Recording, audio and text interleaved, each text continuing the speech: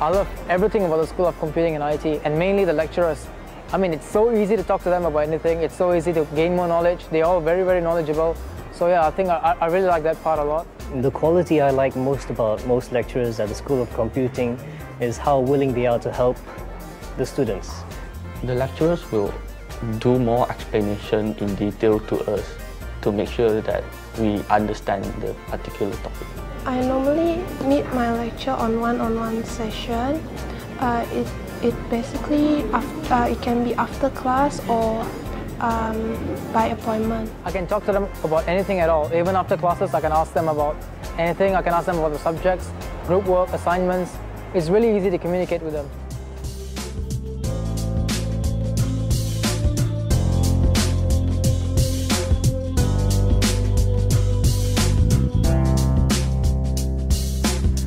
What I love about being a student of SoCIT is that the lecturers give us the opportunity to work on actual projects that allow us to have experience. I really enjoyed practical IT skills and introduction to computing.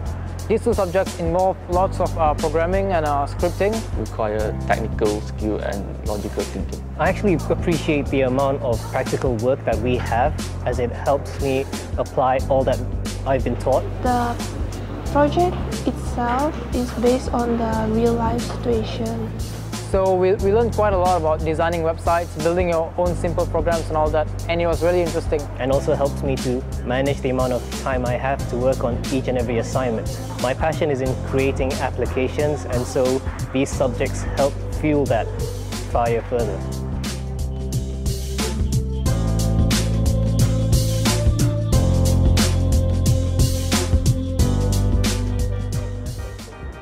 Okay, we've had like lots of talks already so far, but the one that really, really fascinated me was the talk by the Google head of Malaysia. I mean, how often does the Google head of Malaysia come to a campus and give a talk about something? His talk was really, really eye-opening. He gave us, like, he, he, he explained to us about what life will be like once you graduate, what Google employers are looking for. So yeah, it was, it was a really good talk. Well, last year, a few course mates of mine took part in the MSC Malaysia IHL Business Plan competition a competition which involves the generation of commercializable concepts and they won first place last year.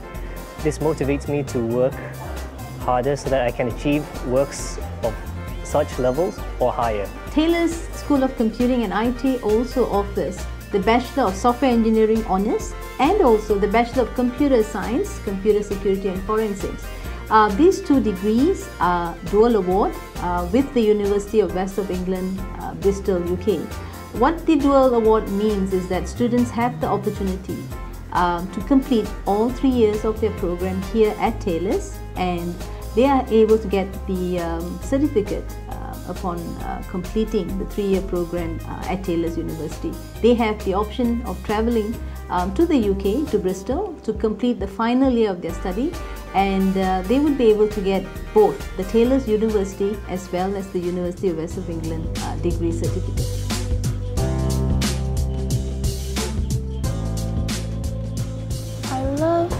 Um, the discussion room in the library because it provides um, you can sit there with your friends and then you can do your assignments or your exercise or anything.